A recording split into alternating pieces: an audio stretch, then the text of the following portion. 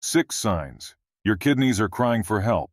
The kidneys play a crucial role in filtering waste and excess fluids from the blood, regulating electrolyte balance, and maintaining overall fluid balance in the body. Did you know? According to the University of California at San Francisco, nearly 750,000 patients per year in the United States, and an estimated 2 million patients worldwide, are affected by kidney failure. One common myth about unhealthy kidneys is that symptoms always manifest early and are easily noticeable.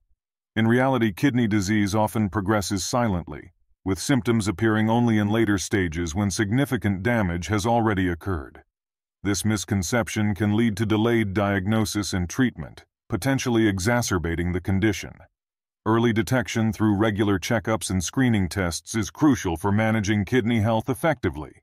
Failing kidneys may result in inabilities such as decreased filtration, fluid and electrolyte imbalance, acid-base imbalance, anemia, bone and mineral disorders, high blood pressure, impaired excretion of waste products, and reduced kidney function. However, you can stop the decline of your kidneys and improve your kidney health by observing the following signs. Watch until number 6 as it is a shocking and frightening indication of unhealthy kidneys. Here are six signs of unhealthy kidneys. Number one, changes in urination. A. An increase in the frequency of urination, particularly during the night, may indicate kidney dysfunction. B. Feeling a strong and sudden urge to urinate even when the bladder is not full. C. Frequent urination. Kidney connection. In kidney disease, the kidneys may not effectively regulate fluid balance, increasing urine production and frequency. D. Urgency to urinate. Kidney dysfunction can contribute to changes in urinary urgency due to alterations in fluid balance and electrolyte regulation. G. Nocturia, nighttime urination. In kidney disease, impaired fluid balance can lead to excess fluid being processed by the kidneys, resulting in increased urine production and nocturia. H. Polyuria, excessive urination. Kidney dysfunction can contribute to polyuria by affecting the kidney's ability to concentrate urine and regulate fluid balance. E. Oliguria, reduced urine output. In kidney disease, a decrease in urine output may result from decreased filtration and impaired excretion of waste products. J.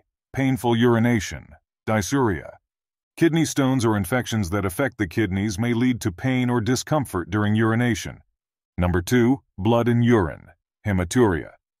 The presence of blood in the urine can be a sign of kidney problems. The urine may appear pink, red, or brown, indicating bleeding in the urinary tract, and may indicate various underlying health issues, including problems with the kidneys.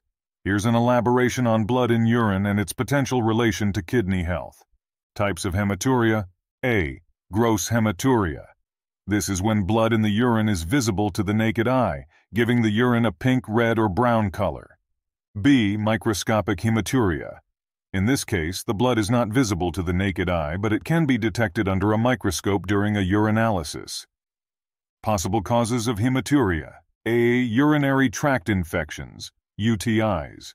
Infections in the urinary tract, including the kidneys, can lead to inflammation and bleeding. B. Kidney stones.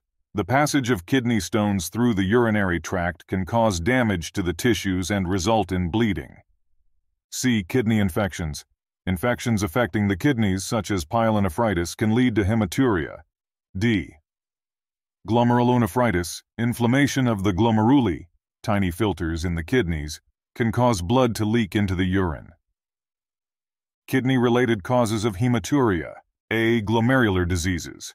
Conditions affecting the glomeruli, such as glomerulonephritis or IgA nephropathy, can lead to hematuria. B. Polycystic kidney disease, PKD. In PKD, cysts in the kidneys can cause bleeding and contribute to hematuria. C. Kidney cancer. Tumors in the kidneys may lead to bleeding and blood in the urine. Evaluation and diagnosis. When blood in the urine is detected, a healthcare professional may conduct various tests, including urinalysis, blood tests, and imaging studies, such as ultrasound, Connecticut scans, or MRI, to identify the underlying cause. A kidney biopsy may be performed in certain cases to assess kidney tissue directly. Treatment. Treatment depends on the underlying cause of hematuria. For example, antibiotics may be prescribed for a UTI, while procedures or medications may be recommended for kidney stones. Chronic conditions affecting the kidneys may require ongoing management and monitoring. Seeking medical attention. If you notice blood in your urine, it's crucial to consult with a healthcare professional promptly. While some causes of hematuria may be relatively benign, others can be more serious and require timely intervention. Number 3. Fatigue and weakness. Unexplained fatigue and weakness can result from anemia, which is common in individuals with kidney disease.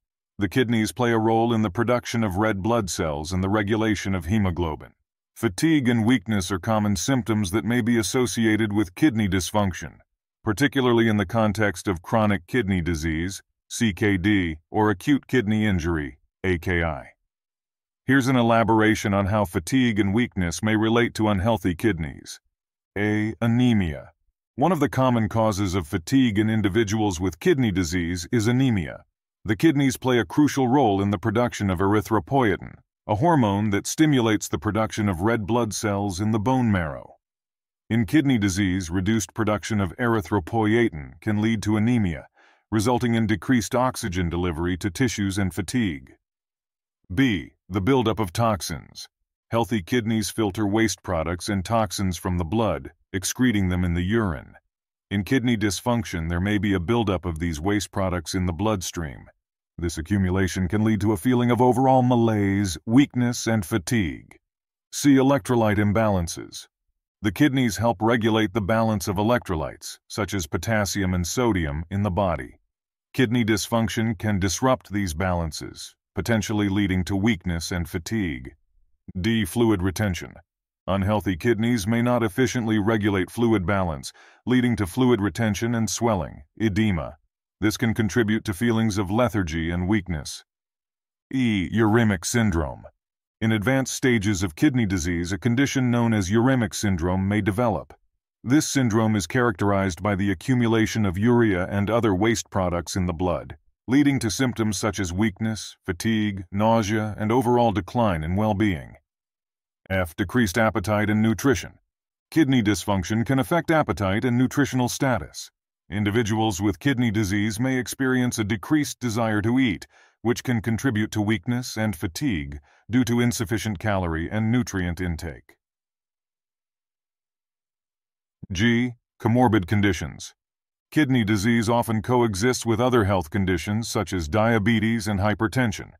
These conditions can also contribute to fatigue and weakness, independently of kidney dysfunction. H. Treatment and management. Managing fatigue and weakness associated with kidney dysfunction involves addressing the underlying kidney condition. Treatment may include medications to control blood pressure, manage anemia, and improve kidney function. Dietary modifications such as restricting certain nutrients may be recommended to manage symptoms and slow the progression of kidney disease. I. Regular monitoring. Individuals with kidney disease should undergo regular monitoring of their kidney function and overall health. Monitoring allows for early detection of complications and timely intervention. Did you know that a sign of your kidneys failing could be something as extreme as your skin changing in appearance? Let's jump into numbers 4, 5, and 6 and understand the frightening signs of failing kidneys. Number 4. Changes in skin color and tone. A. Pale skin or a yellowish tint jaundice may be indicative of a buildup of waste products in the blood due to impaired kidney function. Changes in skin color and tone can be associated with kidney dysfunction, particularly in advanced stages of kidney disease. Here's an elaboration on how changes in skin color may relate to unhealthy kidneys. B. Jaundice, yellowing of the skin. In cases where kidney disease is advanced, the kidneys may not effectively filter and excrete bilirubin, a yellow pigment produced during the breakdown of red blood cells. Bilirubin buildup in the bloodstream can lead to jaundice, a condition characterized by yellowing of the skin and eyes. C. Uremic frost. In severe cases of kidney failure, a condition known as uremic frost may occur. Uremic frost is characterized by the deposit of urea crystals on the skin, giving it a powdery appearance. This condition is rare, but can be a sign of advanced kidney dysfunction. D. Pale or ashen skin. Anemia, a common complication of kidney disease, can result in a pale or ashen appearance of the skin. Anemia occurs when the kidneys do not produce enough erythropoietin, a hormone that stimulates red blood cell production. Reduced red blood cells can lead to decreased oxygen delivery to the tissues, affecting skin color. E. Dry and itchy skin. Kidney dysfunction can lead to imbalances in minerals and electrolytes, including calcium and phosphorus. These imbalances, coupled with decreased production of vitamin D by the kidneys, can contribute to dry and itchy skin. F. Easy bruising. Impaired kidney function may result in a decrease in platelets or altered platelet function. Platelets are essential for blood clotting, and their dysfunction can lead to easy bruising. G. Capillary damage. The accumulation of waste products in the bloodstream due to kidney dysfunction can contribute to damage to small blood vessels, capillaries in the skin. This can affect skin color and contribute to the appearance of vascular abnormalities. H. Assessment and diagnosis. Changes in skin color and tone are often symptoms of advanced kidney disease, healthcare professionals will conduct a thorough assessment including blood tests and imaging studies to evaluate kidney function and identify the underlying cause. I. Treatment and management.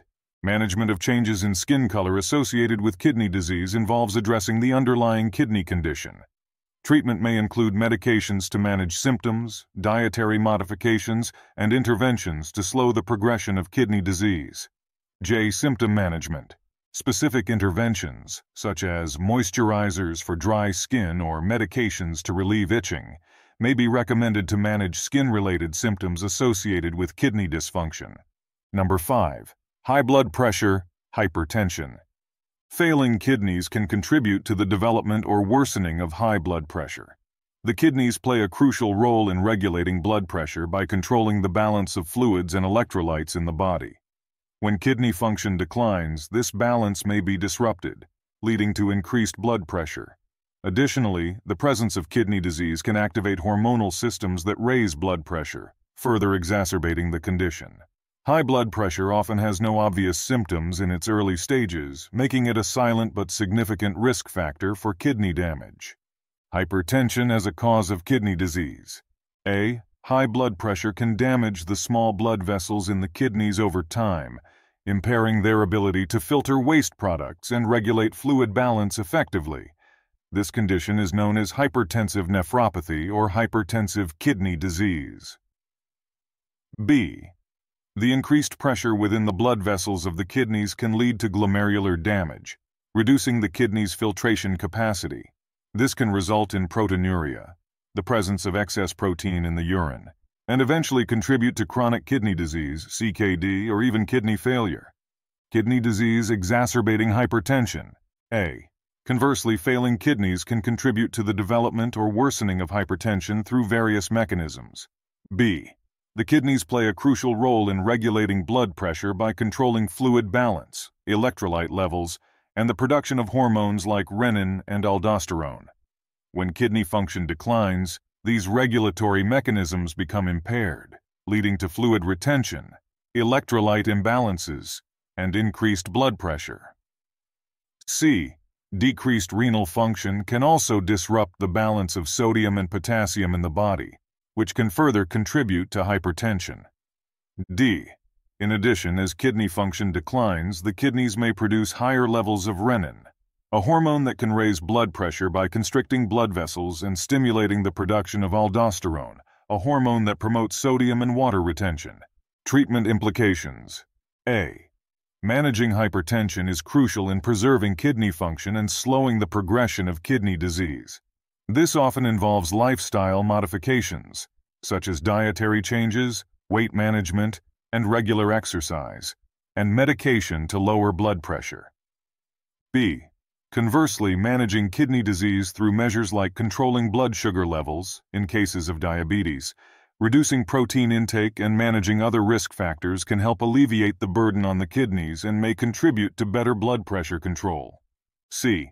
Some medications used to treat hypertension, such as angiotensin-converting enzyme, ACE inhibitors and angiotensin II receptor blockers, ARBs, have the added benefit of protecting kidney function and are commonly prescribed in individuals with both hypertension and kidney disease.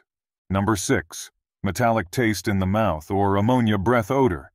The buildup of waste products in the bloodstream, such as urea and ammonia, due to impaired kidney function, can lead to unusual tastes or odors in the mouth. Some people with failing kidneys report experiencing a persistent metallic taste in their mouth or noticing an unpleasant odor resembling ammonia on their breath. These symptoms may develop gradually and may not be immediately recognized as related to kidney health, but they can serve as warning signs of underlying kidney problems and should prompt further evaluation by a healthcare provider.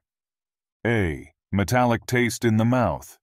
This symptom can arise due to the accumulation of waste products in the bloodstream, such as urea, which the kidneys would typically filter out.